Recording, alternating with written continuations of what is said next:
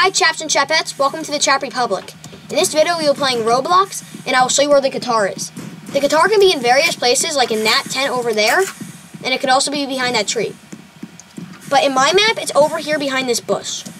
But the guitar has to be in the prison area and it cannot be outside that area. So don't like try to mess around and say it's out there. It will always be inside this prison area that all the prisoners can get to.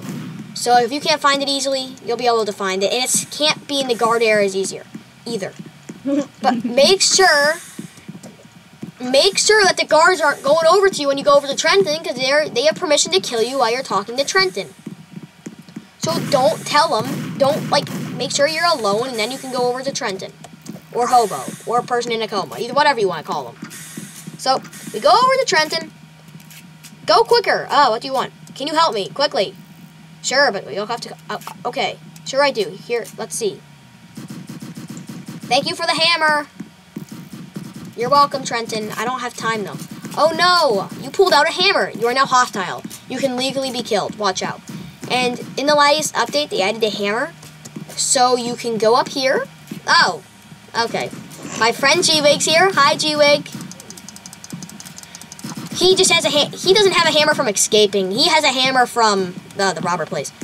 And now we will become a robber. I will give you a tutorial how to become a robber with the hammer. So you get the hammer, and then you go up to here, and now you're free.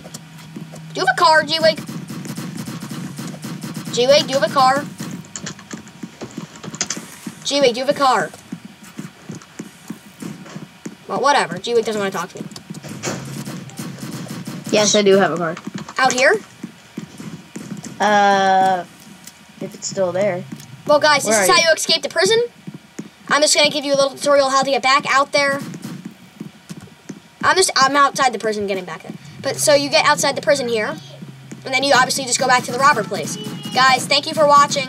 Come back next time. If you want more tutorials in any games, tell me. Bye. See you next time. Have a good day.